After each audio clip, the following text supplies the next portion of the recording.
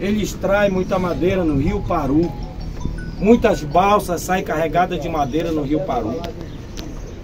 E sabe quem faz a guarnição deles lá, Cassi? Ah. A própria PM que ele reprime. Que ele é um governador corrupto, um governador ladrão. Você, Helder Barbalho, tu vai cair que nem os ministros do STF vão cair.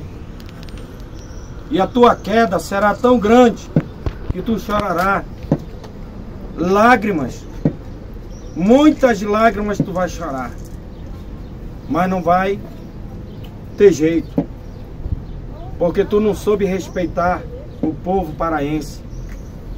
Eu, como índio paraense, filho de paraense, eu posso te chamar de ladrão, porque tu roubou, no período da pandemia, mais de um bilhão de reais.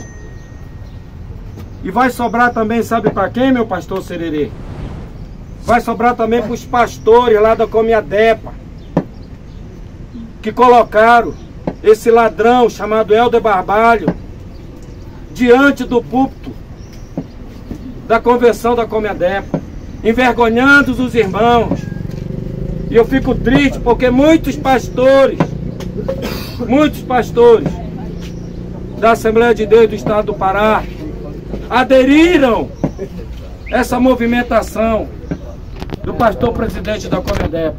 É vergonhoso, porque hoje o Pará está sendo reprimido, os patriotas estão sendo reprimidos nas ruas, na frente dos quartéis.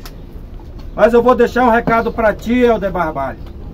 Os teus dias são poucos os teus dias são poucos no estado do Pará.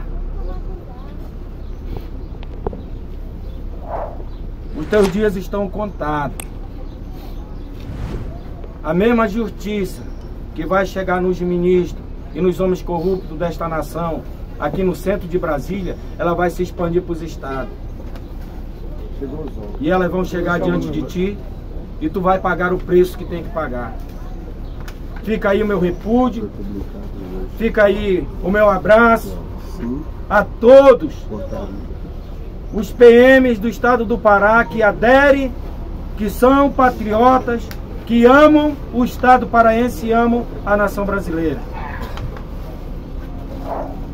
Que Deus tenha misericórdia desse estado e faça desse estado um grande estado brasileiro, porque é um estado